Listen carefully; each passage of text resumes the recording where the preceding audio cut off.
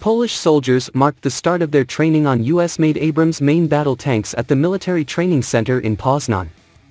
The training conducted by the American side as part of the so-called the Abrams Academy will take part by the end of 2022, a total of approximately 150 soldiers, including technical staff, instructors, and crews who will later be users of the modern US-made tanks.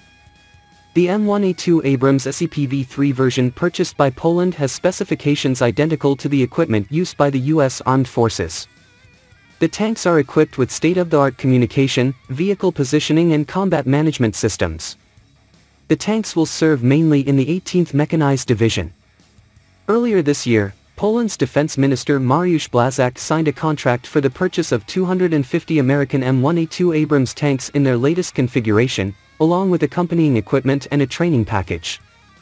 I would like to emphasize that when we announced last year the purchase of 250 Abrams tanks for the needs of the Polish army, we said that the process of preparation for the takeover of these tanks by the Polish army would be very fast and we had the results of these actions.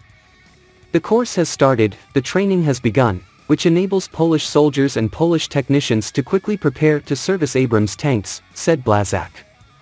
He also noted that the goal is that the tanks, once equipped with the Polish army, can be operated by trained soldiers, and it will happen next year. A year ago, we decided that Abrams would be used by the Polish army. This year, training is already underway, next year there will be the first copies of the part of our contract that concerns filling the gaps in our defense capabilities, so soldiers of the Polish army and technicians will be prepared to take over their duties for servicing Abrams tanks and thanks to this, Poland will be more secure thanks to which all countries on the eastern flank of the North Atlantic Alliance will be more secure, said the minister.